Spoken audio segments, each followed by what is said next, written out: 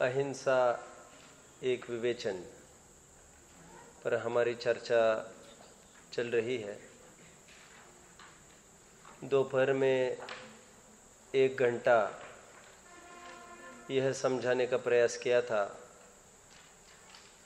कि आत्म परिणामों का घात ही हिंसा है। हिंसा की परिभाषा यहाँ से बताई गई थी। जगत में, देखो,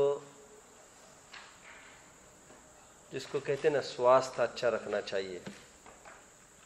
जगत में स्वास्थ्य की परिभाषा क्या है? थोड़ा सा कोई दुबला दिखा। दो तीन किलो वज़न कम दिखा तो तुरंत लोग में कहते हैं, बहुत स्वास्थ्य बिगड़ गया है तुम्हारा। अरे रे, मेरा बच्चा दो तीन किलो घट गए यहाँ पर आने से। वैसे यहाँ पर आते समय कुछ कम नहीं था। और उनको दो तीन किलो घटना क्या लगता है? स्वास्थ्य में गिरावट। जगत ने मोटापा, जो पहचान बनाई है स्वास्थ्य की, वो उचित नहीं है। वैद्य लोग ये कहते हैं, मोटापा तो बाधक है। और शरीर स्वस्थ वो कहलाता है जिसमें कितना भी काम करो, थकान ना आए प्रॉपर रूप से नींद आए, कोई व्याधि आदि ना रहे, बस। फिर दुबले पतले की वो कोई पहचान नहीं है। इसको कहते हैं स्वस्थ शरीर। जगत में मान्यता क्या स्वास्थ्य के नाम पर? और वास्तविक स्थिति बिल्कुल उल्टी। आप समझ गए मेरी बात को? उसी प्रकार बताएगा कोई सिद्धांत? नहीं बता पाओगे। स्वास्थ्य की सॉरी हिंसा जगत की दृष्टि में कोई किसी को मारे, आदि आदि। इसको हिंसा कहते हैं। और जो जैन दर्शन की दृष्टि में हिंसा की हमारी चर्चा चल रही है, वह अंतरंग हिंसा की चर्चा चल रही है। दोपहर में बताया गया था आत्म परिणाम आत्म परिणाम आत्म परिणाम हिंसन, हेतुत्वात् सर्वमय हिंसयत। अनृत वचनादि केवल मुदारतम शिष्य बोधाय देखा था चंद? आत्म परिणामों का घात होना ही हिंसा है। अपना इकलौता लड़का बिगड़ जाए, सप्तव्यसनी हो जाए इसमें बाप साक्षात मरण का अनुभव करता है। उसी प्रकार अपनी परिणति बिगड़ जाए। बिगड़ जाए मतलब पर के करने, धरने में लग जाए, विकल्प में लग जाए, फिर अच्छे रूप हो या बुरे रूप हो तो उसको कहते परिणति बिगड़ गई। और वही परिणति मैं आत्मा हूँ ऐसा स्वीकार करके ज्ञाता दृष्टा भाव लाए, स्वयं में तृप्त रहे, उसी से सुख की उत्पत्ति होती है, उसको कहते आत्म परिणाम सुधर गया। आत्म परिणाम का बिगड़ना, सुधरना समझ में आया? तो आत्म परिणाम का जो बिगाड़ हुआ आत्म परिणाम का जो घात हुआ, अर्थात परलक्ष परिणाम हुआ, यही हिंसा है। झूठ, चोरी, कुशल, परिग्रह, ये तो मंद बुद्धि जीवों के लिए, विस्तार से समझाने के लिए हमने इतना समझाया। ये सब समझ में आ गए। दोपहर में काफ़ी इसकी चर्चा हमने की थी। देखो, मुझे याद आता है जब हम इंजीनियरिंग पढ़ते थे, तब मेरा एक दोस्त था सेम फैकल्टी में था केमिकल लाइन में था इंजीनियरिंग करता था, और गांधीवादी उसके विचार थे। तो वो हमेशा एक बात कहता था, मेरे पिताजी बहुत क्रोधी जीव है। वो तो ये कहता कि वो तो बहुत अच्छा है कि उन्होंने रिवॉल्वर नहीं खरीदी है। यदि वो रिवॉल्वर खरीदे तो दिन में दस को ठोक कर मार डाले। हमेशा कहता था वो, क्या कि वो तो बहुत अच्छा है रिवॉल्वर नहीं ली, नहीं तो उनकी राजनीतिक पहुँच भी इतनी ऊपर की है। सभी नेता लोग उनको बोलते हैं, आप तो रिवॉल्वर ले लो और जब भी जिसको उड़ाने उड़ा दो, हम सब संभाल लेंगे। लेकिन वो तो बहुत अच्छा है, हमारे मम्मी ने उनको रिवॉल्वर नहीं लेने दी। यदि लेते तो दिन में कम से कम दस को खा सकते हैं। ठीक है? मुझे ये कहकर ये बताना चाहता हूँ मैं रिवॉल्वर होगी तो क्या होगा? वो कभी ना कभी गोली भी चल सकती है। चल सकती है, क्योंकि अंदर में क्रोध विद्यमान है। ठीक उसी प्रकार आचार्य देव कहते हैं, जब तक अभिप्राय ज़िंदा है, अभिप्राय मैं पर को मार सकता हूँ, जला सकता हूँ, अथवा अनिष्ट कल्पना ज़िंदा है, तब तक जब तक अनिष्ट कल्पना ज़िंदा है, कभी भी हिंसा बाहर में उसके दिख सकती है। रिवॉल्वर है ना? कभी भी वो उड़ा सकता है। क्या कहा मैंने? सिद्धांत बताओ। इसी प्रकार जब तक अंदर में, बोलो, अंदर में अनिष्ट परिणाम है, कभी भी क्रोध उत्पन्न हो सकता है। मैंने तो और जब तक इष्ट परिणाम है, तब तब कभी भी राग उत्पन्न हो सकता है। राग उत्पन्न हो सकता मतलब राग तो प्रत्येक समय में उत्पन्न हो रहा है, राग द्वेष। लेकिन राग की अभिव्यक्ति कभी भी हो सकती है। ये कितने जन को समझ में आ रहा है जो मैंने बोला? मैं ये कह रहा हूँ, जब अंदर में राग विद्यमान है, उसकी अभिव्यक्ति कभी भी दिख सकती है। जब अंदर में द्वेष विद्यमान है, उसकी भी अभिव्यक्ति। अभिव्यक्ति समझते हो? शरीर में वैसी क्रिया कभी भी दिख सकती है। ठीक है, इसलिए मूल में इष्ट अनिष्ट पने की कल्पना ही बाधक है। ठीक है? राजा गया मुनिराज के पास। थोड़ी सी चर्चा उठी, उसने मुनिराज को कहा, मेरे राज्य में बहुत खुशहाली ही खुशहाली है। किसी प्रकार का कोई दुख नहीं है। सभी चिंता मुक्त है यहाँ पर। यहाँ पर पूरे अहिंसा का वातावरण है। मुनि नैमित्तिक ज्ञानी थे। उन्होंने कहा, नहीं, यहाँ पर बहुत हिंसा चलती है। एक आदमी रोज़ाना बीस गायों को मारता है। राजा ने कहा, मेरे होते हुए मेरे राज्य में रोज बीस गायों को हो नहीं सकता। लेकिन ऐसा हो रहा है राजन। बहुत दल बल का धनी था, खूब सेना आदि थी, सेना को दौड़ाए चारों तरफ़। देखो कौन है वो हत्यारा। सेना खाली हाथ लौटाई। राजन के सामने वैसी खड़ी रही। बोले, कोई नहीं यहाँ पर ऐसा तो। राजा फिर से मुनि के सामने आकर बोला, मुनि ने कहा, है। फिर से दौड़ाया। सैनिकों को। कहीं नहीं मिला। फिर मुनि के पास आया। मुनि ने उसको कहा, है तो आदमी है बोले। मैं बताऊ बोले, पता? बोले, यहाँ से जाओ, इतने इतने किलोमीटर पर, और वहाँ पर एक कुआ है। क्या है? कुआ। उस कुएँ में झाँक कर देखना। क्या था उस कुएँ में? तो गया। उसने भेजा आदमी को, सेनापति आदि को। तो उन्होंने गए वे वो कुआ किसी को पहले में सजा दी थी। वो किसी ने पहले हत्या की थी, गो हत्याएँ, गाय की हत्या करता था वो। तो राजा ने उसको दंड दिया था कि मरने तक तो उसको कुएँ में रखा जाए। सूखा था वो कुआ, लेकिन उसमें ऊपर कोई नहीं आ सकता था। और मरण तक वो वही रहे, ऐसी आज्ञा थी। वो वहाँ पर बैठ कर नीचे, थोड़ा कीचड़ जमा था ना, वो कीचड़ी की रोज करता था गाय। और गाय बना बना के उनकी तोड़ता रहता था गर्दन। ऐसे बीस गाय कीचड़ वो बनाता था मिट्टी की और उसको तोड़ देता था। तो मुनि ये कह रहे थे कि वे दस गाय रोज मर रही, कट रही है। आप समझ गए आपको लगेगा गाय कहाँ कट रही है? अभिप्राय। लेकिन वो परिणामों में देखो तो परिणामों में वो गायों को ही मार रहा है। हमारी चर्चा क्या चल रही है? हिंसा।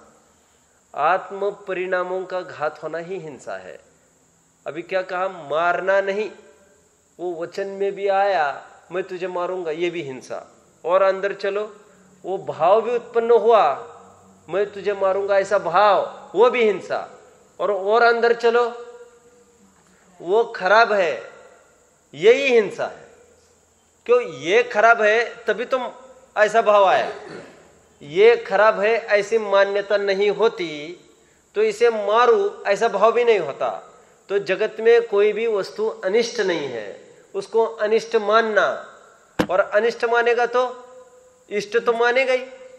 ये तराजू का पलड़ा है, जितना इस तरफ़ झुकेगा, उतना इस तरफ़ तो झुकेगा ही। जितना अपने पुत्र के प्रति राग है और उसको रोग हो जाए तो रोग के इलाज में कितनी हिंसक दवा खिला सकता है? मेरे लड़के को बचाना, मेरे लड़के को बचाना, फिर दवा कितनी भी हिंसक हो। हिंसा का कारण क्या हुआ? हिंसा का कारण? हिंसा का कारण बच्चे के प्रति राग। मतलब जहाँ पर द्वेष है, वहाँ पर राग तो होगा ही होगा। राग और द्वेष तो एक सिक्के के दो पहलू है। ठीक है? बहुत होता है ना ऐसा। जैसे देखो देखो। मेरा लड़का एकदम बीमार हो गया। बीमार हो गया? अभी रात के दो बजे अचानक मैंने वॉचमैन को कहा ए जल्दी गेट खोलो। और वॉचमैन नींद से उठा ही नहीं जल्दी। तो सबसे पहले द्वेष किस पर? वॉचमैन। पर।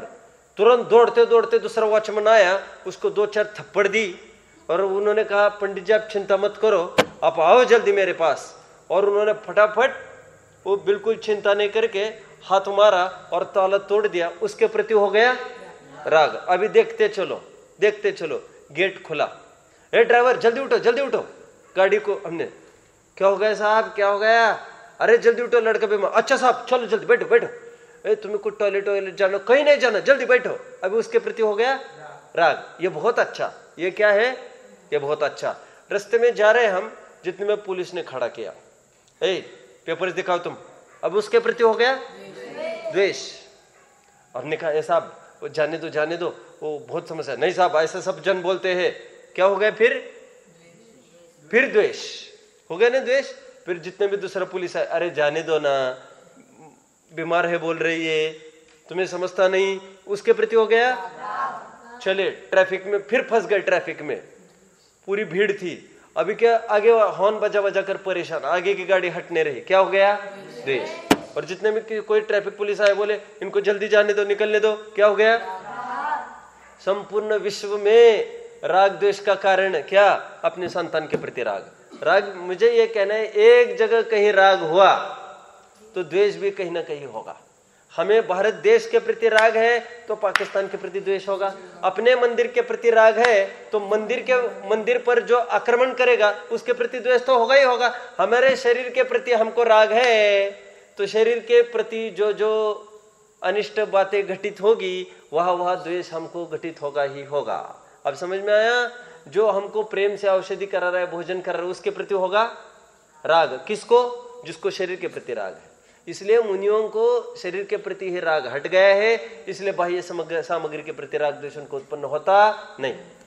मैं इतना क्यों कह रहा हूँ साहब आत्म परिणाम का घात होना ही हिंसा है। और झूठ, चोरी, कुशल परिग्रह, ये तो मंद बुद्धि वालों के लिए समझाया गया है। ठीक है? अभी अभी हमने एक उदाहरण भी देखा था, वो गाय को तोड़ता था। हिंसा परिणामों से होती है।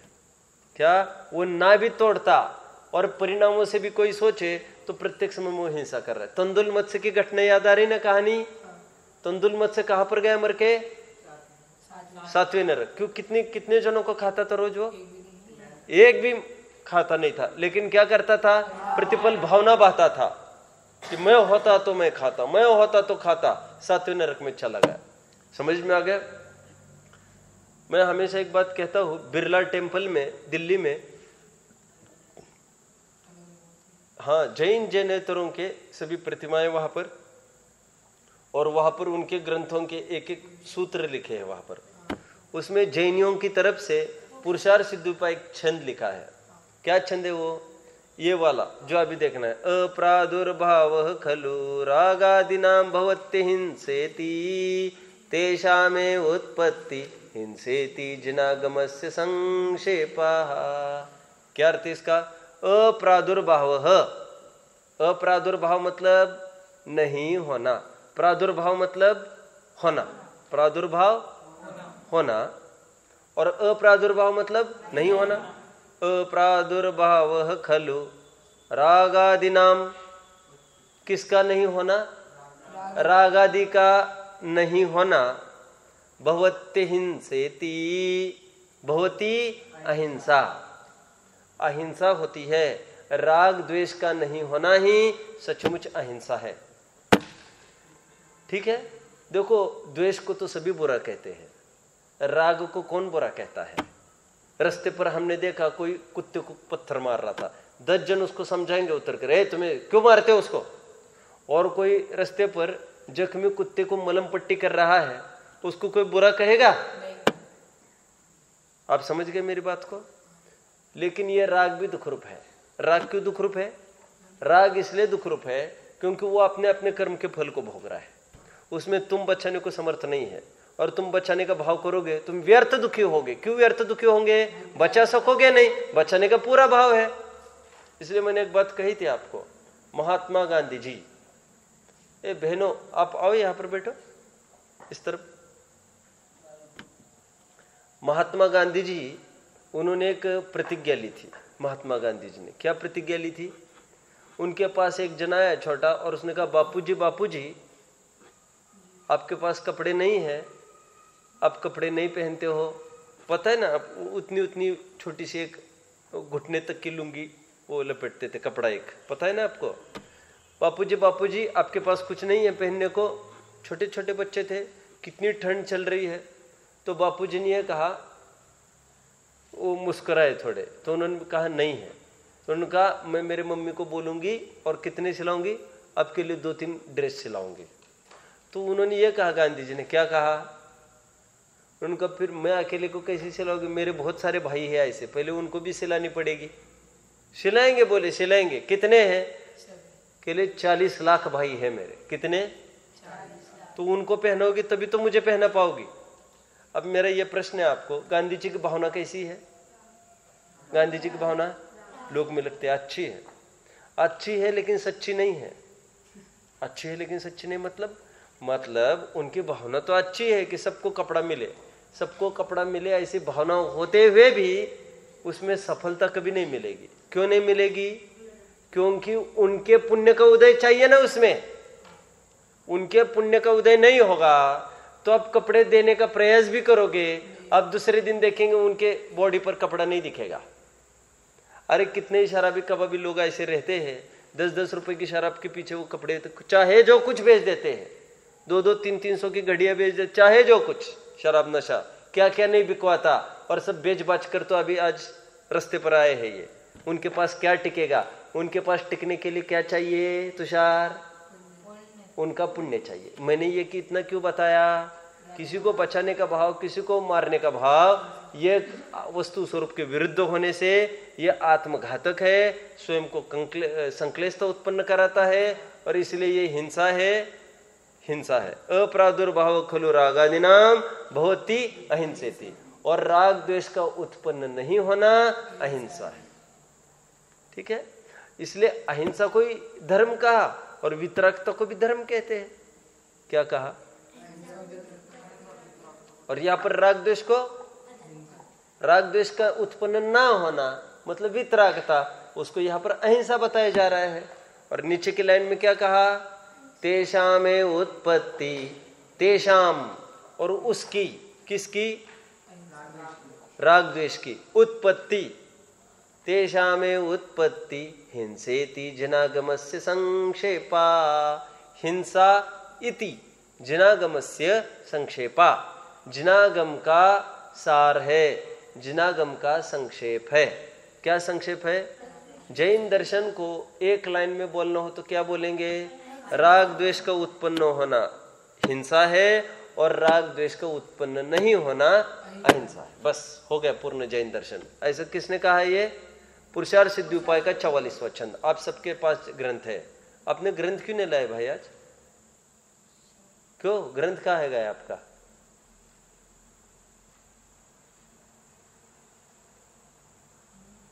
हाँ? क्यों? अभी चर्चा किसकी चल रही है? दूसरों का कल्याण करने का भाव उचित नहीं है। क्यों उचित नहीं है? क्योंकि अपनी हानि हो रही है उसमें। ये तुम्हारे लिए आवश्यक है। कोर्स तुम्हारा चल रही है। कोर्स उनका नहीं चल रहा है। आप समझ में आ रहा है आपको? कोर्स चल रहा है आपका। वे तो वैसे ही आकर बैठे हैं। आप हो एट्थ के वे है टेंथ के। उन्होंने पढ़ा है ये सब सिलेबस। और आप इतना दया भाव रखोगे तो आप तो फेल हो जाओगे। अभी वही तो चर्चा चल रही है। दूसरों का हित करने के चक्कर में अपन अपना अहित कर रहे हैं। अपना अपना हित हो रहा है ना? अब मैं यहाँ से एक एक शब्द बोल रहा हूँ, आप समझने पर, ए भाई, आपकी जनवानी कहा है? ये सबका यही समस्या, क्या बात है? तुम तुम्हारा देखो भैया। अब सब तीनों, सबके सब बच्चे बिना जनवानी के यहाँ पर। एक्स्ट्रा हो, एक हाथ पीछे दे दी, वो बात नहीं है। तुम लोग बिना जनवानी के, और उनको सब दे दी।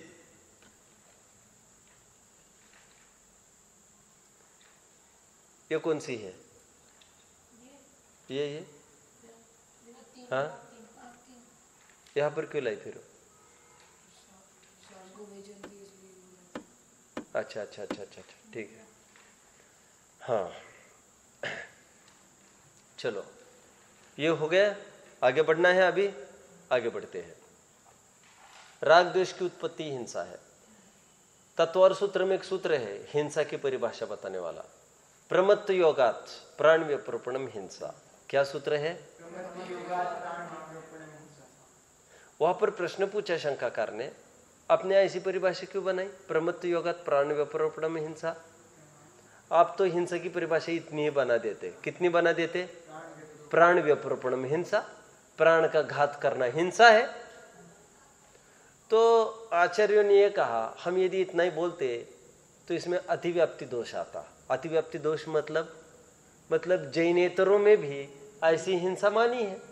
लेकिन जैनी लोग ऐसी हिंसा नहीं मानते। जैनी लोग कैसी हिंसा मानते? प्रमाद के योग से। प्रमाद के योग से समझ में आ गया? प्रमाद के योग से? आज सुबह चर्चा थी हिंसा में प्रमाद परिणति मूल है। कल सुबह। लिया था मैंने? क्या लिया था? लिया था कि नहीं? क्या लिया था? हिंसा में प्रमाद परिणति मूल है। नहीं समझ में आ रहा है। अभी अभी समझ में आएगा। वैसे मैंने थोड़ा संकेत किया था। मैंने ये कहा था, यदि मुनिराज चल रहे हो ये प्रश्न पूछा था कल, यदि कोई पंचेंद्रिय का जीव मारे, पाँच इंद्रिय का, और तब भी वो अहिंसा महावृति हो सकता है क्या? ये प्रश्न पूछा था। और ये भी प्रश्न पूछा था, कोई एक इंद्रिय तक की हिंसा ना करे, और फिर भी वह महाहिंसक, ऐसा हो सकता है क्या? ये प्रश्न था मेरा। था ना? देखिए, मुनिराज जब जब भी चलते हैं ना ईरिया समिति पूर्वक चलते चार हाथ नीचे देख देख कर चल रहे हैं। ठीक है? और अचानक चलते चलते बीच में कोई जीव उड़ के उनके पैर के नीचे आ गया उच्चालयम में पाए जब उन्होंने पैर उठाया। उच्चालय पाए इरिया समिदस निगम ठाए। जब वे चल रहे थे इरिया समिति पूर्वक, तब उन्होंने जैसे पैर उठाया आबाधेज कुलिंगम। कुलिंगम, छोटा जीव, सूक्ष्म जीव आया और वो बाधा को प्राप्त हो गया।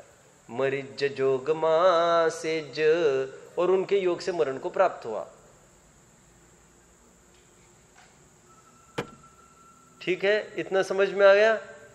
उच्चालय पाए इरिया समिदस निगम ठाए आबाधेज कुलिंगम। मरिज जोगमा सेज नहीं तन निमित्तो। क्या अर्थ होगा इसका? इसका अर्थ क्या? नहीं तन निमित्तो मतलब उसके निमित्त से नहीं।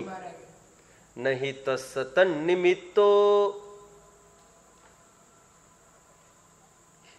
बंधो सुहमोदि दो समय, सूक्ष्म भी बंध नहीं होता, ऐसा समय में बताया गया है। समय मतलब ग्रंथों में। क्या? ग्रंथों में ऐसा बताया गया है। समय मतलब ग्रंथ होता है। समय मतलब? समय मतलब ग्रंथ होता है। समय मतलब तीर्थ होता है। समय मतलब काल होता है। समय मतलब युद्ध भी होता है। समय के तो बहुत सारे अर्थ हैं। ठीक है? समय मतलब पुद्गल द्रव्य भी होता है। क्या कहा? और समय मतलब जीव भी होता है। बहुत सारे अर्थ है। क्या कहा मैंने? अब भी उच्चालय पाए इरिया समिदस निगम ठाए आबाधेज कुलिंगम मरिज जोगमा सेज नहीं तस् निमित्तो बंदो सुहोमो दिदेशिदो समय। आगे क्या लिखा? मुच्छा परिग होती क्या कहा बोलो? जिस प्रकार मूर्छा परिग्रह है अध्यात्म में परिग्रह किसको कहा? अध्यात्म में परिग्रह किसको कहा? अध्यात्म में परिग्रह बाह्य वस्तु के सहयोग को नहीं कहा। परिग्रह मूर्छा को कहा, ये चाहिए, वो चाहिए वो चाहिए। उसको परिग्रह ही कहा। बाह्य सामग्री को परिग्रह क्यों नहीं कहा? क्योंकि वे तो अरहंतों के भी है। क्या कहा? अरहंतों के भी है और मुनियों को वैसे ही कोई लाकर पहना देवे। मुनियों को उठाकर गाड़ी में रख देवे। तो मुनिराज के परिग्रह हो जाएँगे। मुनि को उठाए, गाड़ी में रखे, मुनि के मुँह में और कुछ कुछ चीज़ डाले खाने को तो क्या अबक्ष बक्षी हो जाएँगे वे? मुनियों को कोई शाल ओढ़ावे तो क्या मुनि पापी हो जाएँगे? तो पापी तब होंगे? अच्छा किया इसने, अब पापी हो गए। क्यों पापी हो गए? राग बुद्धि है, राग बुद्धि। बदतमीज कहेगा, समझता नहीं, हम मुनि है, आकर पहना गया कुछ, अब पापी हो गए। अब पापी कैसे हो गए? अनिष्ट कल्पना की। जो हो रहा है होने दो। समझ में आ गया? जो हो रहा है होने दो, अपना आत्मा है, जानते रहो। ठीक है? ये इतना सारा क्यों कहा? पंचेंद्रिय की हिंसा होने पर भी मुनिराज को बताया जा रहा है, अहिंसक, कोई बंद नहीं। बंद क्यों नहीं उनको? क्योंकि उनको प्रमाद नहीं है, अयत्नाचार प्रवृत्ति नहीं है। उनकी यत्नाचार प्रवृत्ति है। बंधु होता है, वह अयत्नाचार प्रवृत्ति से होता है। और जिनकी यत्नाचार प्रवृत्ति है, उनको निर्बंध बताया गया है। फिर अयत्नाचार प्रवृत्ति से कोई चल रहा हो और जीव नहीं आया बीच में, फिर भी उसको बंद कहा है। एक उदाहरण उदाहरण, देखो। कोई अंधेरे में चला और एक भी जीव आकर नहीं मारा बीच में, तब भी उसको कितना बंद कहा है मालूम? कल्पना करो एक पैर के नीचे जितने जीव आ सकते हैं और जितने कदम उसने रखे, उतने जीवों का पाप उसके माथे आ गया। एक भी जीव मरा नहीं, और बंद सबका। ऐसे कैसे? क्यों? क्योंकि होते तो मरते ना। तुम्हारी असावधानी रही ना? असावधानी। वो तो निकले नहीं, सो बात दूसरी। लेकिन तुम्हारा अभिप्राय क्या है? अभिप्राय तो बचाने का है नहीं किसी को? तो अयत्नाचार प्रवृत्ति से बंद होता है और यत्नाचार प्रवृत्ति देख देख कर चल रहे हो, बचाने का भाव है और अनायास मर भी जाए कितने, तब भी बंद नहीं होता। ये जैन दर्शन की अहिंसा है। आपके भावों का खेल है, इसलिए जैन दर्शन में परिणामों से और भाव विशुद्धि से ही सब कुछ होता है। ठीक है? और एक तो जैन आचार्य ने तो ऐसा लिखा है, एक जगह प्रश्न भी पूछा, कदम कदम चरे कदम चिट्ठे, कदम मासे कदम से कदम भासे ज भुंजे ज, कदम पावम न वज्जदी, हम कैसे उठे, कैसे बैठे, कैसे सोए, कैसे बोले, कैसे खाए, कैसे पिए? कितना प्रश्न पूछा एक श्रावक ने? कितने सारे प्रश्न पूछे महाराज को? क्या क्या करें हम? एक, है ना? कदम चरे कदम चट्ठे कदम से कदम सये। ये अर्थ समझ, सये मतलब कैसे सोए? कदम से मतलब आसन, भोजन कैसे करे? कैसे चलना, कैसे उठना, कैसे बैठना? कदम मुंजेज, कैसे भोजन करना? कदम भाषे ज कैसे बोलना? कदम पावम, जिससे हमको पाप नहीं लगेगा। तो आचार्य ने क्या उत्तर दिया मालूम?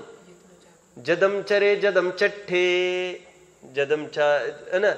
तो कह रहे, यत्नाचार से उठो, यत्नाचार से बैठो, यत्नाचार से खाओ, यत्नाचार से सो वो सब बोलो, यत्नाचार से करो तो आपको बिल्कुल पाप नहीं लगेगा। यदि द्रव्य हिंसा ही हिंसा होती तो क्या आपत्ति आती, कौन बताएगा? यदि द्रव्य हिंसा ही हिंसा होती, बोलो। कोई यदि द्रव्य हिंसा ही हिंसा होती तो एक जीव भी भूतल पर कभी भी अहिंसक नहीं होता। क्यों? हम सांस भी ले रहे। लोग कहते भी है तो क्या हम सांस भी नहीं ले मत लो सांस मत लो सांस, बहुत जीव मर रहे, बहुत जीव मर रहे। अरे, तुम समझते नहीं हो, बेवकूफ़ी की बात करते हो। क्यों? क्योंकि सांस लेने में जितनी हिंसा हो रही है, वो यत्नाचार प्रवृत्ति वाली नहीं हो रही है। यत्नाचार प्रवृत्ति वाली नहीं है वो वो उसमें कुछ कर नहीं सकते हम। मारने का दृष्टिकोण उद्देश्य नहीं है वहाँ पर। आप समझ गए? और ऐसे देखा जाए तो फिर सर्वाधिक हिंसा किसको होगी आयुष? अरहंतों को। आपको पता है, जब भी मुनि होते ना, मुनि मुनि ही तो अरहंत होते हैं। कौन होता है अरहंत? मुनि होते, पक्का? आपको क्यों उठाए वहाँ से? बहुत देर आप, आपका चल रहा है। चल रहा है ना बहुत देर? चलो बैठो जल्दी। कहा तक आए हम? देखो देखो सुनो, आपको थोड़े में बता रहा हूँ मैं। इसने थोड़े ने बता दिया ना इन्होंने हाँ मैं गलती कर रहा था। तो बिल्कुल भी कुछ नहीं लगता। इसका मतलब मूल जो अपराध होता है, वो अस्वीकृति का होता है। स्वीकार किया तो लोक में भी, आप कोई भी अपराध करो, स्वीकार करो जाकर, सरेंडर करो। आपको पता है? अभी तो नहीं होता ऐसा। मैंने बहुत देखा है। 20-25 साल पहले, जब हम बहुत छोटे छोटे थे ग्यारह बारह साल का जितना भी होंगे तब तब तो गवर्नमेंट ऐसा कराती थी, जितने बड़े बड़े गुंडे हैं ना, मैंने कहा भी था आपको, उनको कहती, आपको छाती में दर्द हो रहा है क्या? कोई तकलीफ़ है क्या? क्या क्या बात है, बोलो। हा? पानी पीने जाना है तो अभी क्यों नहीं पी के आए? दर्द टाइप का हो रहा है। तो आपको किसने कहा पानी पीना चाहिए इसमें? आपको लग रहा है क्या पानी पीना? लग रहा है। देख लो। देख लो जहाँ जाने जाओ। थोड़ी देर बाद जाओगे। फिर तो पाठशाले का तुम जब से ऐसे ही लगा के बैठे हो, मैं विकल्प हो रहा है मुझे बार बार। तुम्हें दर्द तो नहीं हो रहा है, दर्द तो ऐसा पकड़े बैठा है। नहीं, तुम विकल्प को पूरा करो पहले। तुम पहले क्यों ध्यान में नहीं रखते ये? बोलो भाई क्या प्रश्न है कुछ? कहा तक आया था मैं? हाँ। हाँ। सभी विकल्प हिंसा में आएँगे। क्योंकि देखो अब मैं सीधी जबान से ये थोड़ी बोला उसको जाओ पानी पी के आओ। क्यों? मैं स्वयं इस धारणा को हूँ मरने की कीमत पर भी एक बूंद पानी नहीं पीना चाहिए। तो इसलिए मैंने अभी इसको दो तीन बार क्या कहा आपने सुना? जाओ देख लो जो करना है। तुम ऐसा बैठ रहे हो यहाँ पर। इसलिए मैंने अभी उठते ही मैंने एक बात कही, तुम ये सब करके क्यों नहीं आते हो यहाँ पर? उसका त्याग नहीं है, ये बात सत्य है, लेकिन मैं नहीं बोल सकता ऐसा। बहुत बड़ी बात है ये, मैं बोलू। जाओ जाओ, पानी पी लो, जाओ पानी पी लो। अपने सगे बच्चों को ही नहीं कहता मैं। मैंने कहा ना आपको तो आपको कैसे कहूँगा पानी पी के आओ? तो मैं अब वो मेरे सामने छाती पकड़ के बैठा है, लेकिन ये राग, ये कितनी तकलीफदायक हो गया फिर मैंने तो इतना तो कहा ना, जाओ, जो करना है करो। अब मुझे तो मालूम ही है वो क्या करने वाला है। राग हुआ ना, ये राग दुखदायक है। आप समझ रहे हो मेरी बात को? ही दुखदायक ही है राग। इसमें कोई शक नहीं है। क्या कहा मैंने, बोलो? हाँ मैं तो ये कह रहा था। क्या कहना था? क्यों कहना था मुझे? नहीं नहीं, मुझे और एक बात कहनी थी आज से 20-25 साल पहले तो ऐसा होता था, जितने भी गुंडे होते थे ना, उनको वो गवर्नमेंट उनको अपील करती थी चैलेंज करती थी, आप यदि सरेंडर करना चाहते हो तो आप आ सकते हो। तो मैंने देखा है, चार चार सौ जन इनामी गुंडे एक साथ आकर सरेंडर कर देते थे गवर्नमेंट को हत्यार वगैरह डाल उनको कोई सजा नहीं। इतना सारा क्यों सुना है मैंने?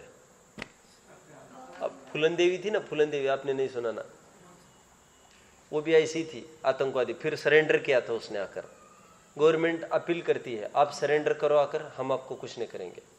हमारा करोड़ों रुपए मिट रहा है, तुम यदि अच्छा और तुम भी बदतर हालत जी रहे हो, कुत्ते की भांति। आज यहाँ कल वहाँ। तो तुम्हें यदि हम जैसा जीवन जीना है, आम तौर पर, वे सुखी थोड़ी होते उनके भी बच्चों की कोई लाइफ थोड़ी होती है, जंगल में? वे कभी राजमहल में थोड़ी रह पाते हैं। कितना ही पैसा उनके पास हो, वे घर बना नहीं पाते। क्यों? उनको ठिकाने आज है तो कल वहाँ। ठीक है, घर बने और फंसे। समझ में आया? मुझे तो मुझे तो यह कहना था, इससे क्या निष्कर्ष निकाल रहे थे अपन? बोलो बोलो। ये क्यों गुंडा गुंडों का क्यों बताया मैंने? सरेंडर किया, माफ़ कर दिया। चलो। बराबर, राइट, बैठो। हमने अस्वीकृत किया हमने कहा किया। अभी उन्होंने तुरंत स्वीकार किया, जाओ बैठो। तो गवर्नमेंट भी ऐसी स्कीम्स अपना आप स्वीकार करो आकर हमने अपराध किया है। ऐसा भाव हो तो अपराध नहीं गिनती उसको। उसी प्रकार जैन दर्शन में भी तुम स्वीकार करो कि हमने अपराध किया है। हमने क्या किया, हमने क्या किया है? अरे कितने जीवों का घात हो रहा है। ठीक है? अभी मैं ये कह रहा था, यदि द्रव्य हिंसा कोई हिंसा कहते तो तकलीफ़ ये होती, सबसे ज़्यादा हिंसक अरहंत होते। क्यों होते हैं? क्योंकि अरहंत होते मुनि से? मुनि से ही अरहंत अवस्था आती है ना? अब मुनि से बने अरहंत, तब जब औदारिक शरीर से परम औदारिक शरीर होता है तो वहाँ पर अपने अपने शरीर के आश्रय से निगोदी जीव रहते। पता है आपको? अपने शरीर के आश्रय से निगोदी जीव रहते, निगोदी, बादर। ठीक है? और ये बादर निगोदी जीव जैसे ही परम औदरिक शरीर हुआ अनंत निगोदी जीवों का घात हो जाता है। मतलब जब जब भी अरहंत अवस्था होगी, तब तब अनंत जीवों का घात होगा। तो मुझे यह कहना है, फिर सबसे ज़्यादा हिंसक कौन होते? अरहंत होते। लेकिन कहते वो हिंसा हिंसा में नहीं आएगी। क्यों नहीं आएगी? क्योंकि भाव हिंसा ही हिंसा है। देखो, डॉक्टर किसी को बचाने का प्रयास करे और वो मर जाए, उसको हत्यारा कोई कहता है? बताओ ना मुझे, हत्यारा कहता है डॉक्टर को? फिर डॉक्टर को कौन क्या कहता है बताओ मुझे? डॉक्टर को ये जाकर समझाएँगे लोग, छोड़ दो। आप क्या कर सकते हो? आपने तो बचाने को खूब प्रयास किया। छोड़ो छोड़ो। वो स्वयं रो रहा है, इसलिए उसको कह रहे छोड़ो। अब जो मारने का प्रयास करे और सामने वाला बच निकले, तब भी उसको फांसी हो सकती कि नहीं बताओ? मतलब कानून भी ये कहता है सामने वाला मरे ना मरे, अभिप्राय से दोष होता है। ए, समझ में आ गया? बच निकले और वो मैंने कहा मारा, मैंने कहा मारा। चला अंदर पहले। हंटर गलेंगे तो पता चलेगा किसने मारा। होगा कि नहीं होगा ऐसा? अभिप्राय से मूल भूल होती है। ठीक है? क्योंकि कार्य में आने में, कार्य में पाप आए, इसके लिए उसको पुण्य चाहिए। ठीक है? रात में घूमते भी कहीं दिखे, रोड पर। लॉकअप में डाल देते, क्यों डाल देते हैं? क्योंकि तुम्हारा अभिप्राय खराब है। हमने क्या किया? हमने क्या किया? किया नहीं, लेकिन करने का तो भाव है ना बराबर। करने का भाव नहीं नहीं तो फिर इस टाइम में तुम बाहर निकलते नहीं। चोरी का, आगे बोलो। कौमा, कोरी, चोरी का, अथवा कुशील का अथवा हिंसा का कोई भाव होगा तभी तो घूम रहे तुम ऐसा तो ऐसे क्यों घूम रहे तुम? आप समझ गए मेरी बात को?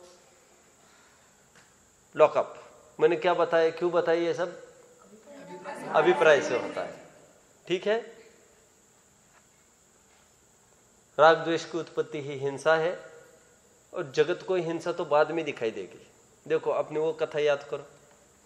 कौन सी? आ, राजा चक्रवर्ती। कौन चक्रवर्ती सनत चक्रवर्ती। सनत चक्रवर्ती रूप को देखकर, रूप की प्रशंसा होने लग गई स्वर्ग में। रूप की परीक्षा करने आए चक्रवर्ती के। अच्छा अच्छा। तो जब चक्रवर्ती की परीक्षा करने आए, तब क्या कर रहा था चक्रवर्ती? कोई कहता है, वो नहा रहे थे। तो नहाते समय किसी ने दूर से देखा, देवों ने और आपस में ऐसा किया। तो उसने देखा थोड़ा कि अपने को ऐसा बोल रहे। तो उसने उसने क्या बोला? उसने बोला, अब एक काम करना, अब वहाँ ना राज दरबार में, तब देखना। तब देखना। अब जैसे उन्होंने राज दरबार में आया, अभी सच धच के, ठीक है? और उन्होंने पूछा, अब कैसा लग रहा है? ठीक है? तो उन्होंने क्या उदाहरण दिया फिर सामने? एक कटोरी लाई पानी की। और उन्होंने कहा, राजन, ये क्या है? उन्होंने कहा, एक कटोरी पानी है। उनका आँखें बंद करो, एक बूंद हटा ली और पूछा, ये क्या है? एक कटोरी पानी। तो जिस प्रकार एक कटोरी पानी हटा, वो ख्याल में नहीं आया, लेकिन हट गया था। ठीक उसी प्रकार, ऊपर से तो शरीर तुम्हारा सुंदर दिख रहा है, लेकिन अंदर में कोड हो गए हैं। मेरा यह प्रश्न कोड कब दिखा दुनिया को? बाद में। अभी तो सुंदर सर्वांग दिख रहे उन्होंने क्या जाना? अंदर में कोड प्रवेश किया है। वे अंतरंगी जानते हैं और दुनिया तो जब बाहर होगी तब देखेंगे। निष्कर्ष कौन बताएगा? निष्कर्ष।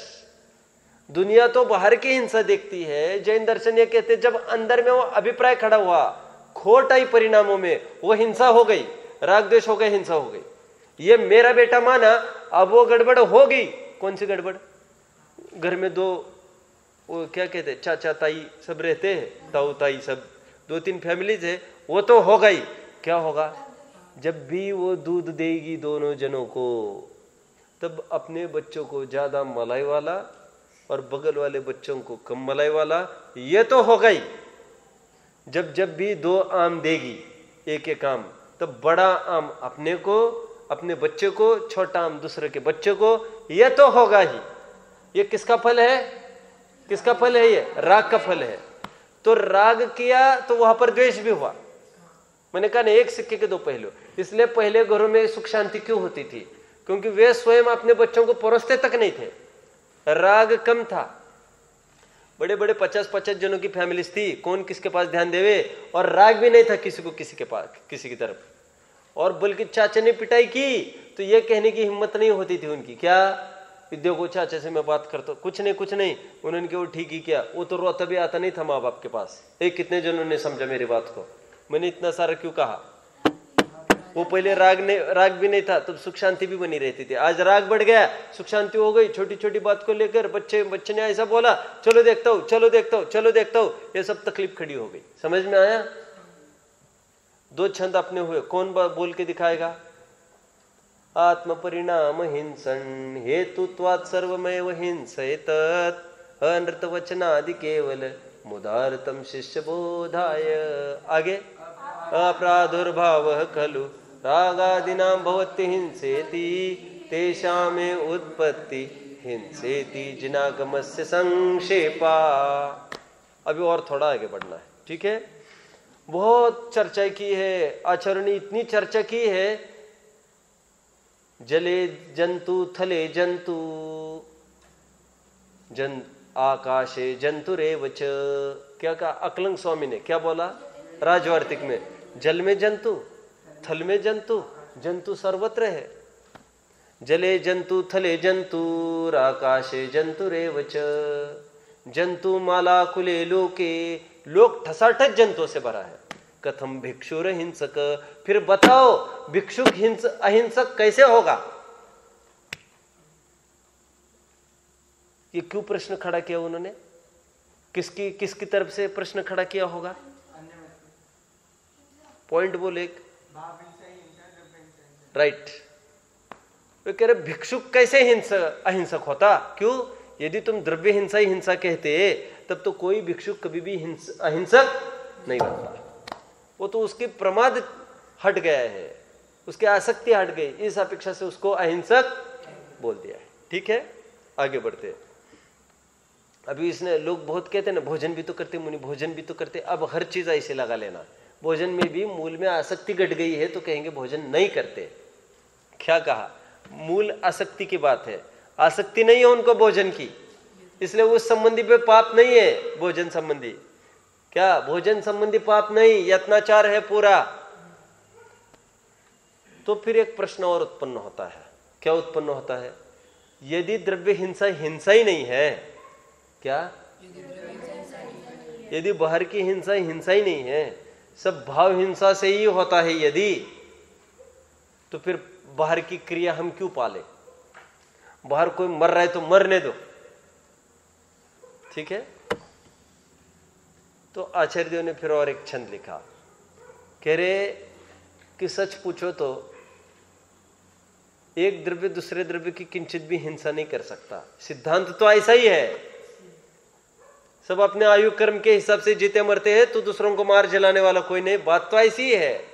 लेकिन हमारे परिणामों की विशुद्धि के लिए हमें ऐसे प्रसंगों से बचना चाहिए। क्यों कहा ये? इस कितने जन को समझ में आ रहा है जो मैं बोल रहा हूँ? नहीं समझ में आ रहा है? अब भी बता रहा हूँ मैं। पहले छंद बोलू? सूक्ष्म खलु हिंसा, पर वस्तु निबंधना भवती पुंसा। क्या कहा मैंने? सूक्ष्म न खलु हिंसा, सूक्ष्म अपि न खलु हिंसा। सूक्ष्म भी सचमुच हिंसा नहीं होती। सूक्ष्म न खलु हिंसा, पर वस्तु निबंधना भवती पुंसा। पर वस्तु के कारण सचमुच आत्मा को किंचित भी हिंसा नहीं होती। हिंसा इतने निवृत्तिर। फिर भी हिंसा के स्थान से उसको बचना चाहिए। हिंसा इतने निवृत्तिर, परिणाम विशुद्ध है तदपि कार्य। परिणामों की विशुद्धि के लिए उसे ऐसे हिंसा के आयतनों से बचना चाहिए। समझ में आ गया?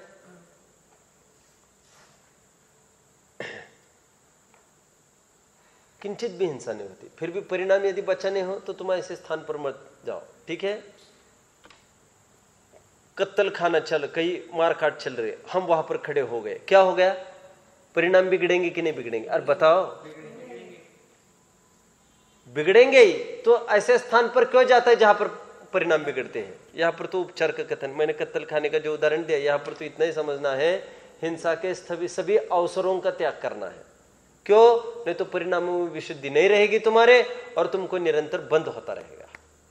ठीक है? तुम्हारे निमित्त से सचमुच एक भी जीव का घात होता नहीं। यह बात सत्य होते हुए भी। तुम बचना। क्यों बचना फिर? परिणामों की विशुद्धि के लिए। और परिणाम की विशुद्धि बनी रहेगी तो तुम्हें निर्बंध अवस्था पर्याय में प्रकट होगी। तो ये एक संधि आचार्य ने जोड़ने का प्रयास किया। किसमें संधि जोड़ने का प्रयास किया? द्रव्य हिंसा और भाव हिंसा भाव अहिंसा और द्रव्य अहिंसा में। बाहर की चरनानियों की भी परिपाटी, समय सार की छियालीसवीं गाथे की टीका। में क्या लिखा? अमृत चंद्र स्वामी ने, यदि एक द्रव्य दूसरे द्रव्य की हिंसा ही नहीं कर सकता, ठीक है? यदि सर्वथा ऐसा माने तो क्या आपत्ति आएगी? जिस प्रकार कोई भस्म को मसल देता है, उसी प्रकार कोई जीवों को मसल देगा, और क्या बोलेगा? हम कोई हिंसा नहीं कर रहे तो कह रहे, ऐसा नहीं, निमित्त निमित्तिक संबंध होता है। और हमारा जो निर्दय परिणाम हुआ, उस निर्दय परिणाम से तो वो तो वास्तव में हिंसा हुई ही है। फिर प्राणी मरे अथवा ना मरे, समझ में आ गए तो बाह्य द्रव्य हिंसा से भी अपने को बचने का पूरा प्रयास करना चाहिए, क्योंकि बाह्य क्रियाओं का और अंतरंग के परिणामों का निमित्त निमित्त संबंध होता है। उदाहरण के रूप में मैं देता हूँ ना, क्या नहीं जाना से तुम खेलने, बगल में। क्या कहा मैंने? पड़ोस में नहीं जाना से खेलने। सब क्यों नहीं जा, उसको क्यों, क्योंकि जाता है तो झगड़ा किए बगैर आता नहीं है। वैसे जाने का निषेध नहीं है, आयुष। झगड़ा करने का निषेध है, लेकिन क्या करे, वो ऐसे मानता ही नहीं ना बात। जाता तो झगड़ा करके ही आता है। सिद्धांत कौन बताएगा? इसलिए निषेध किया जाने का। निषेध किसका करना था? झगड़े का। लेकिन किया किसका? क्योंकि जाए जाएगा तो हिंसा करेगा झगड़ा करेगा। अभी यहाँ पर घटित करके दिखाओ। निषेध करना है ए बोलो। मतलब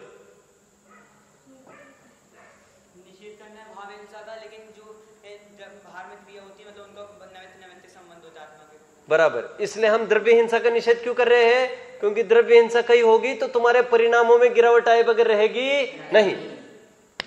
ठीक है? इसलिए हम वहाँ से बोल रहे, करनी तो भावों का ही सुधार है। जिनागम में जितनी भी शरीर की क्रियाओं का सुधार है, वो परिणामों के सुधार के लिए है। क्या कहा? देखो देखो, सुनो सुनो, एक उदाहरण देते फिर समाप्त करते हैं। अविरल, देखो, तुम उसके साथ मत लड़ो तुषार के साथ। दोनों की खूब लड़ाई चल रही थी वहाँ पर। विरल और तुषार खूब लड़ रहे थे, एक दूसरे धमाधम। और मैंने ए, मुझे दोनों का नाम पता है इसलिए मैंने दोनों का नाम ले लिया है? तो मैंने तुषार को कुछ नहीं कहा मैंने इसको ये कहा विरल क्यों लड़ते हो? बदतमीज कह गए चलो चलो पहले ऊपर चलो। और पूरी मैंने दस मिनट इसी को डांटता रहा। स्वाभाविक रूप से इसको एक बात लगेगी क्या लगेगी? अब इसको नहीं डांटते हो इसको तो डांटो इसको डांटो। पक्षपात करते हो। लगेगा ना? देखो, सुनो अभी, विरल बात तो सत्य है, मैं तो पक्षपात ही कर रहा हूँ। लेकिन इतना तो समझ, मैं तो तुम्हारा पक्ष कर रहा हूँ। क्यों? क्योंकि तुम्हारी भलाई के लिए कर रहा हूँ। क्यों? हमें उसकी कहा चिंता है? हम तो तुमको अपना मानते हैं। इसलिए हम तुमको बचाना चाहते थे पहली बात, समझ में दूसरी बात समझो। दूसरी बात यह है, विरल, हम इसलिए तुम्हें कह रहे हैं क्योंकि बेटा, अबे हाल उसका एक घल जाएगा तो तू बैठ जाएगा तो पानी मांगेगा सीधा। ए, सुनो सुनो सुनो। और तुम उसमें दस दस भी मारोगे, उसको कुछ असर नहीं होने वाला है। तो हमने जो उसको मत मारो कहा, उसकी रक्षा के लिए नहीं, तुम्हारी रक्षा के लिए कहा। क्योंकि तुम एक ही खाएगा, तुम नानी याद आएगी। तो तुम्हें जो कहा, तुम उससे, उसको मत मारो, वो उसकी रक्षा के लिए नहीं, तुम्हारी रक्षा के लिए। तुम्हें कहा समझ में आ रहा है? और तुम्हें क्या दिखता है वो? पक्षपात दिखता है। और पक्षपात किसके प्रति? इसके प्रति दिखता है। हम ये कह रहे हैं हमें तुम्हारे प्रति है इसलिए तो तुम्हें समझा रहे सिद्धांत कौन बताएगा? सिद्धांत। बोलो। परिणामों के सुधार के लिए शरीर का सुधार किया बराबर। समझा किसको रहे हम? आत्मा के परिणामों को। ठीक है? और आत्मा के परिणामों के सुधार के लिए बता रहे हैं। तो कह रहे, बाहर बाहर का ये चल रहा है, बाहर बाहर का तो हम ये कह रहे, तुम परिणाम मत करो। समझ में आ गया क्या कहा? क्यों? परिणामों से ही बंद होगा। तो वो ये कह रहा है कि क्रियाओं से क्या फ़र्क पड़ेगा? ने, हमें तुम्हारी चिंता है। हम तुम्हारे परिणामों को बोल रहे हैं, अपन परिणाम मत करो ऐसे। तो क्रियाओं से तो कुछ नहीं होता, लेकिन तुम परिणाम मत करो। तो फिर क्रियाएँ होगी क्या? क्रिया भी कहाँ से होगी फिर? ए, समझ में आया? मैंने एक बार कहा भी था आपको रत्नकरण सावकाचर में ऐसा प्रश्न खड़ा किया कि ठीक है साहब भावों से ही हिंसा होती है अब बाहर से कुछ भी हो हमें कुछ नहीं बोलना। तो समन भद्र स्वामी ने पकड़ लिया। वे बोले हिंसा तो परिणामों से होती है बात सत्य है लेकिन एक बात सुन ले कान खोल के। जब भाव भाव में पर खोट नहीं आएगी भाव में अशुद्धि नहीं आएगी तो बाहर में शरीर की क्रियाएँ पाप रूप दिखेगी ही नहीं। परिणाम तो अंदर ही से होगा। बाहर से तो कुछ नहीं होगा, लेकिन अंदर परिणाम होगा तो बाहर में भी ऐसी निमित्त नैमित्तिक संबंध से क्रियाएँ सुधार हुए बगैर रहेगा नहीं। ठीक है? कह नृपते क्या है वो? कह पुरुष सेवते नृपतिन। कौन पुरुष है? वो राजा की सेवा करना चाहेगा। कब? जब उसकी स्वयं ही पैसे की जुगाड़ लग गई, फिर कौन मूर्ख राजा की सेवा करेगा? ठीक उसी प्रकार, जिसके भाव में शुद्धि आ गई है, वो कौन मूर्ख है जो क्रियाओं में गड़बड़ करना चाहेगा? बिल्कुल नहीं करना चाहेगा। ये हमारा अहिंसा का पाठ पूरा हुआ है। इस अहिंसा के पाठ में हमने पूरा इतना ही समझा, लोक में अहिंसा किसको कहते हैं? और जैन दर्शन में जो अहिंसा कही है वो कितनी विस्तृत है। सोते, जागते, उठते में भी मिथ्या दृष्टि हिंसा कर रहा है। बाहर में पूरा कपड़ा हटाकर भी परिग्रही हो सकता है। बाहर में एक जीव को नहीं मार के भी वो महाहिंसक हो सकता है। और इसके विपरीत यत्नाचार प्रवृत्ति का पालन करे तो अहिंसक हो सकता है। ठीक है? पूरे अपने भावों का ही खेल है। राग देश की उत्पत्ति ही हिंसा है। और वितराग भाव की उत्पत्ति होती होनी ही अहिंसा है। पटाखे नहीं फोड़ना चाहिए जैनियों को आलू प्याज नहीं खाना चाहिए, यही तक अपनी हिंसा सीमित नहीं है। इसलिए तो जैनेतर बोलने लग गए, वे कहते हैं, देखो ये जैनी लोग, बोलो, क्या कहते हैं? ये प्याज तो खाना छोड़ दिया है, लेकिन ब्याज बहुत खाते हैं ये लोग। ब्याज? पैसा? तो ऐसा कोई हमको ना बोले, क्योंकि ब्याज खाना भी उतना ही पाप है जितना प्याज खाना। क्यों? दोनों में बराबर एक ही पाप हो रहा है। क्या पाप हो रहा है? आकुलता। इसलिए मैं बहुत बार कहता हूँ, हम मुसलमानों को बदनाम करते हैं। क्यों कह, कहते हैं? तो बहुत हिंसा करते बहुत हिंसक होते बहुत हिंसक। देख लेना कितने आतंकी बने हैं। मैं ये कहता हूँ कि मुसलमान पहला पाप करते हैं और हम जैनी जैनी बनिए बनकर हम पांचवा पाप कर रहे परिग्रह का। हम लाखों करोड़ इकट्ठा करते जा रहे हैं। बल्कि मैं कभी कभी ये कह रहा हूँ, हमने पांचवा पाप पकड़ा उन्होंने पहला पाप पकड़ा। ये आपको किसने कहा कि पहला पाप ज़्यादा खतरनाक है? मैं तो ये कहता हूँ, बल्कि हमने खूब परिग्रह इकट्ठा किया, इसलिए वे हिंसा करने को उतारू हो गए। क्योंकि पूरा एक तरफ़ आ गया ना वो बहाव, संपत्ति का। अब उनमें कुछ संपत्ति नहीं रही तो तो मार काट छाट चलेगी सही। और देखो ना, जैन कुछ नहीं करते, बेचारे गरीब होते हैं तो दूसरा जन लाभ उठाते हो उसका, दूसरे जन जैनियों को चाहे जैसे। अरे जैनी कोई लाभ वैसे नहीं उठाता। और जैनी को निष्पाप नहीं समझना चाहिए। दस दस पीढ़ी जो, तक कमाने का जो भाव है, वो स्वयं में अपराध है। अपने सामने भारतवासी ऐसे है जो कितने भूखे मर रहे हैं और हमको दसवीं पीढ़ी की चिंता हो तो न्याय से कमाया हुआ पैसा भी अन्याय के ही खाते में जाता है। ये साधारण रीति नीति है। रेल में हम टिफ़िन खोल के कुछ खाने लग जाए, सामने भिखारी आए तो उसको हम दे देते होता है ना रीति नीति हम जिस समाज में रहते हैं, वह वहाँ पर भूखे भूखे मर रहे लोग, और दस दस पीढ़ी का हम खाते रहे, और फिर ये कहते रहे, हमने कुछ नहीं किया तो बस लूट ली, बस लूट ली हमारी। हम, हमने क्या किया? लोग बड़े खराब हो गए हैं। हमको ये लगता है, और हम ये कहते हैं तुमको, वैसे बस नहीं लूटी है, तुमने उनको बस लूटने का अवसर क्यों दिया? अभी तक तुम चुप क्यों रहे? चुप क्यों रहे मतलब मतलब तुमको ये पैसों का विभाजन सब में करना चाहिए था। तो ये नौबत ना आती। ये समझ में, तुम तुम लोगों को समझ में आया? मतलब पाप कोई बाहर की हिंसा को मत देखो। ये मुसलमान, छी! अभी कितने कत्तल खाने खुले बोले उस दिन? आठ कत्तल खाने खुले यहाँ पर, खुल गए, अभी जाने क्या होगा? तो हमको वे लोग कैसे दिखने लग गए? हिंसक। लेकिन हम कह रहे हैं, तुम्हें कितनी फैक्ट्रियाँ खोलनी है? चुप। उसमें चुप। हमें कितनी फैक्ट्रियाँ खोलनी है? तो फैक्ट्रियाँ खोलने के लिए हम तैयार। लेकिन हम पूछते हैं कि परिग्रह और हिंसा क्या समान पाप नहीं है? आप विचार करना, जो मुझे कहना है। आप विचार करोगे? इस बात पर परिग्रह भी पाप कहा है। हिंसा भी पाप है। और परिग्रह पाप मतलब उतना ही कमाओ जितना सीमित है। जितना अपने को आवश्यक है।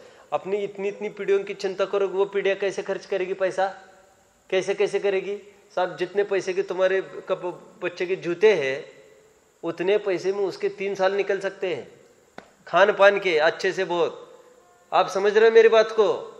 तुम लोग जितना बाजाम का दो वेस्ट करते हो। वेस्ट तुम्हारे बच्चे खा खा कर झूठा छोड़ देते, थाली, बादाम, काजू की। उतने पैसे में उनको, उतने पैसे में उनका भोजन हो सकता है रोज का। समझ में आ गया? तो ये जो वेस्ट जा रही सामग्री आप पाप नहीं कर रहे क्या? एक्सेस हो गए ना आपको, इसलिए महिमा नहीं आ रही है। गांधी जी ने बड़े बड़े जो हुए ना ये समाज सेवक उन्होंने बहुत प्रयास किया भरसक।